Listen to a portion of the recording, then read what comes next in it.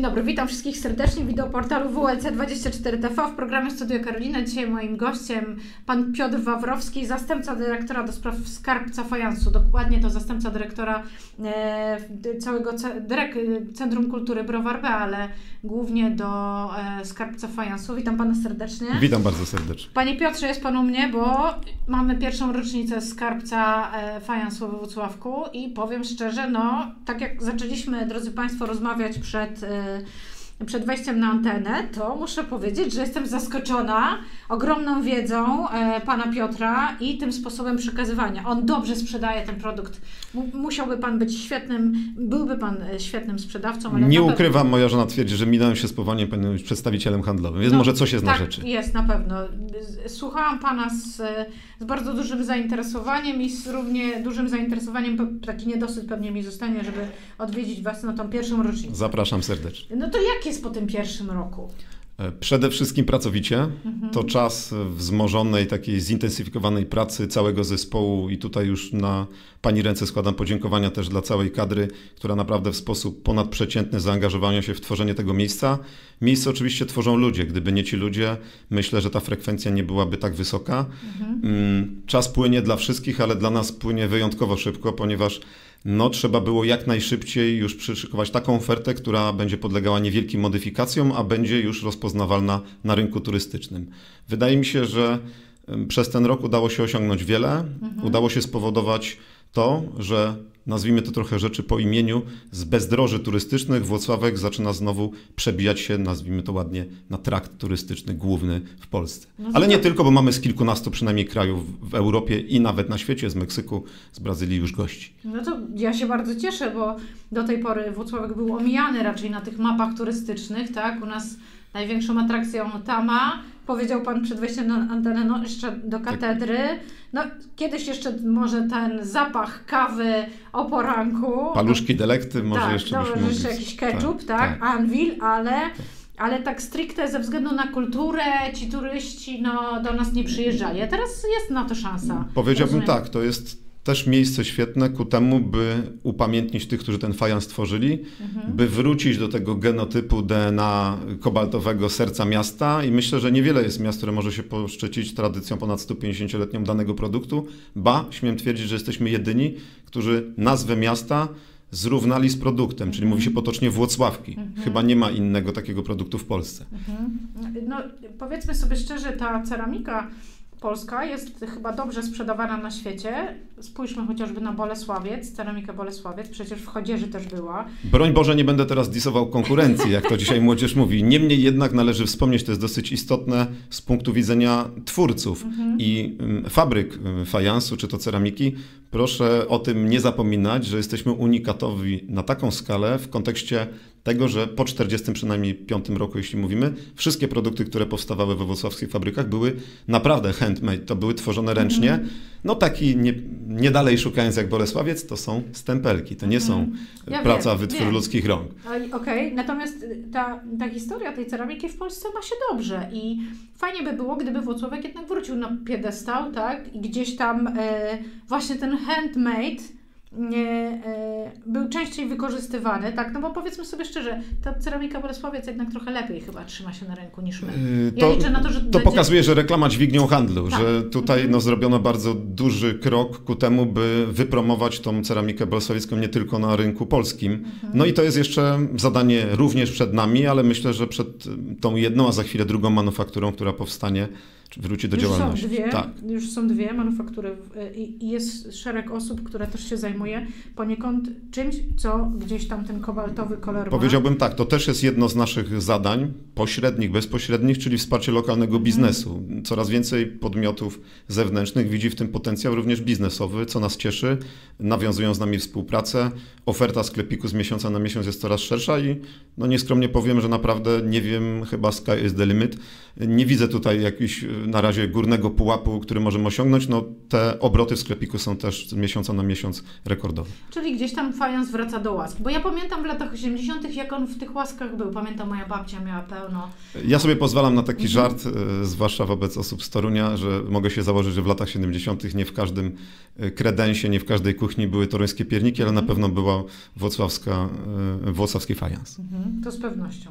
Tak. I te zegary, e, te. e, Ja bym powiedział też, to miejsce pokazuje, że przedmiot to nie tylko przedmiot. My mamy bardzo wiele historii, w których ludzie się wzruszają, uśmiechają, wspominają swoje młode lata i właściwie za każdym przedmiotem kryje się jakaś historia, jakieś zdarzenia z przeszłości, właśnie wspomnienia i takich historii mamy naprawdę wiele i to miejsce no, pobudza do wspomnień, pobudza do tego, by powiedziałbym, wrócić często do pięknej, młodzieńczej przeszłości. No i właśnie wracacie teraz.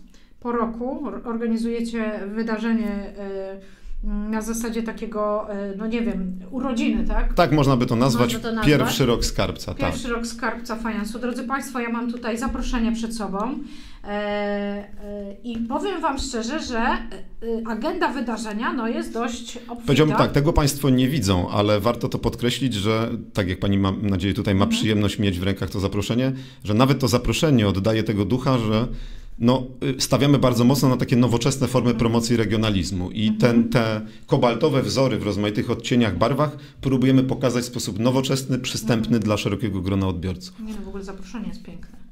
Ale zacznijmy od pierwszego wydarzenia, które będzie, pie, pierwszego wydarzenia, jeżeli mogę tak powiedzieć, do, te, do tych Waszych pierwszych urodzin, bo tak jak Wam Państwu powiedziałam, e, myślę, że warto, naprawdę. Zwiedzanie ekspozycji, dodatkowo pokaz malowania wzorów fajansowych. Tak, i tutaj żywo. jakby samo zwiedzanie już w sobie jest atrakcją, ale no warto zajrzeć i zobaczyć, jak przy pomocy ludzkich rąk malarek z kilkudziesięcioletnim doświadczeniem te wzory powstają, że to tylko na pierwszy rzut oka jest takie łatwe, ale okazuje się, że niekoniecznie. No nie, no ja bym się nie podjęła tego, tego zadania. No i, i, i hit, bo 5 zł, więc jakby to jest Aha. niewielka To wartość tego. powiemy o tej standardowej ceny, Tak? tak. Mhm. Dalej, e, fajansowa torba na zakupy. Uczestnicy rodzinnych warsztatów udekorują płócienną torbę specjalnymi farbami. Czyli będzie można, rozumiem, zabrać to ze sobą. Dokładnie. My szykujemy te torby za zupełną darmochę, można zapisać się do nas. Powiem szczerze, miejsca już się kończą, także liczba Jak- miejsc ograniczona. Proszę dzwonić Mhm. na nasze numery. Do 20 września czekamy na zapisy. Mhm. Mm, Ta płócienna torba jest też nieprzypadkowa, ponieważ mamy warsztaty chociażby czasowe, na których Mhm. uczymy malować na fajansie, ale w sposób nieoczywisty, czyli wykorzystujemy odzież, którą mamy na co dzień.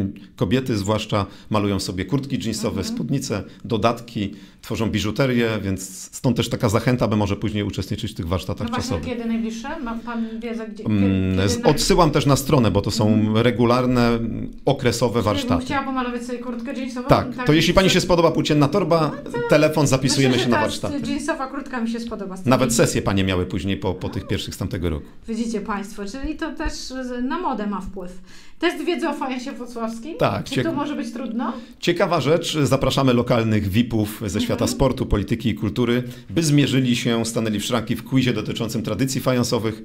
Już jestem po iluś telefonach, nie wszystkich łatwo namówić, bowiem ryzyko porażki zawsze istnieje, ale myślę, że zrobimy to w formie lekko zabawowej i wszyscy będą się świetnie bawić. No, drodzy Państwo, no przecież nikt nie jest alfą i omegą, nie trzeba znać odpowiedzi na wszystkie pytania. W ostatnim zdaniu pozwoliśmy sobie jeszcze dodać, że nie zabraknie tortu rodzinowego. Być No może to właśnie. będzie też atrakcją. To By do nas na zajrzeć. pewno. Czy on będzie w kolorze kobaltu? Już wiecie? Wszystko na to wskazuje. Okej. Fajansowe wzory. Wykład Karoliny Piaścik na temat genezy, rodzajów, sposobów i technik powstawania wzorów nowocławskich. Nowoczesność nowoczesnością, pójście w, kierunku XXI wieku jak najbardziej, ale nie zapominajmy o historii przeszłości, skąd te wzory w ogóle się wzięły, dlaczego pojawia się motyw łapki, szyszki.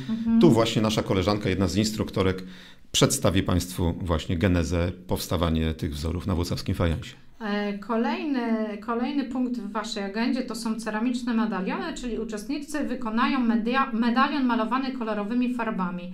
Warsztaty dla osób 7+.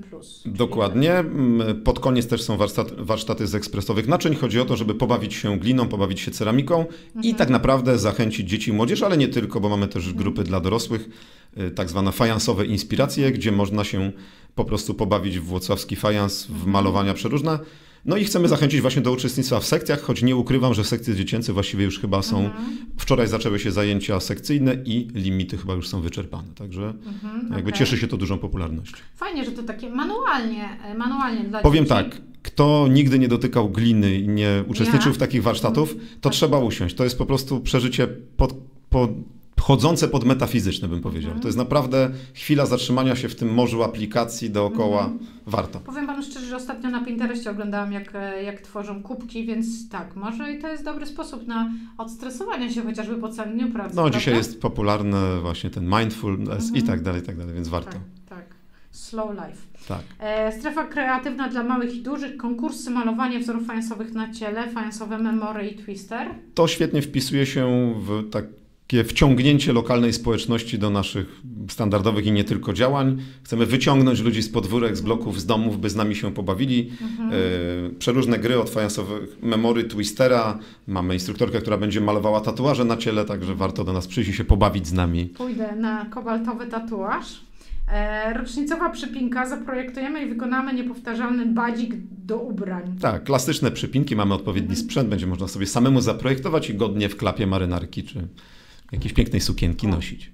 To w sam raz na jakiś bal. No i ekspresowe naczynia, czyli to, co Pan mówił, Tak. sztuka tworzenia naczyń na trzy sposoby. Warsztaty dla dorosłych chcemy krok po kroku w podstawowych takiej wersji pokazać, jak takie naczynie w ogóle powstaje. Okej, dobra. E, czyli rozumiem, że będzie można zrobić to naczynie, tak? Tak. E, zabrać ze sobą do domu? Tak, Dobrze. A pomalować je we wzory fajansowe? jak najbardziej. Okej. Drodzy Państwo, no to trzeba e, e, poćwiczyć rękę pewnie trochę wcześniej. Ale uprzedzam, że już tam niewielka liczba miejsc została, także prosimy o Kurczę, telefon. y, Na pewno, y, na pewno sam, sama agenda bardzo zachęca, bo jest, ja to widzę przed sobą, próbowałam Państwu przeczytać, żebyście przynajmniej chociaż trochę sobie wyobrazili, jak to wygląda. Nie, No, coś niesamowitego, tak jak wcześniej powiedziałam, patrzyłam ostatnio na Pinterestie, jak robi się, bo zaczęłam myśleć, że może kupię sobie jakąś glinę, zacznę tak się Mhm. E, Najlepiej zacząć pod okiem instruktora. Więc e, w skarbcu fajansu jak najbardziej.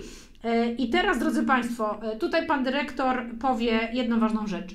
Wejściówka w jakiej cenie jest? 5 zł. Symboliczne 5 zł. Normalnie to jest albo 25, albo bilet ulgowy 20. Mhm. Mogą być zniżki dla seniorów, karty dużej rodziny, ale generalnie tutaj to jest symboliczne 5 zł. Chodzi Dobra. nam o to, by jak najwięcej osób Czyli skorzystało z tego dnia i świętowało te urodziny razem z nami. 29 września Dokładnie. 2024. Od godziny 10 do Od 18, godziny 10. a wszystko, to też należy podkreślić, w ramach czwartej edycji Fajans Festival, Mhm. oprócz nas również w centrali przy ulicy Łęckiej 28, będzie bardzo dużo przeróżnych rzeczy związanych z kulturą fajansu jako taką, od kramów, fajansowego bistro, y, koła gospodyń wiejskich, które zaprezentują swoje podwoje kulinarne, mm, moda fajansowa, strefa relaksu, przeróżne atrakcje, warsztaty uczenia malowania się, malowanie paznokci we wzory fajansowe, naprawdę mnóstwo atrakcji szeroko związanych z kobaldowym sercem miasta. No i bądźmy tym lokalnym patriotą, drodzy Państwo. Wybierzmy się na to, żeby wesprzeć e, włocławski fajans, jego odrodzenie, sprzedaż i reklamę nie tylko w Polsce, prawda? To na koniec pozwolę sobie powiedzieć, takie uknęliśmy hasło w kontekście naszego kalendarza na przyszły rok i tego Państwu też życzę. Szczęśliwie fajansu nie liczą. O, to bardzo dobre powiedzenie. A powiedział je pan Piotr Wawrowski, e, zastępca dyrektora do spraw e, skarbca fajansu. Bardzo Miło mi było gościć Państwa studiu. Dziękuję bardzo, Bardzo i dziękuję. pozdrawiam.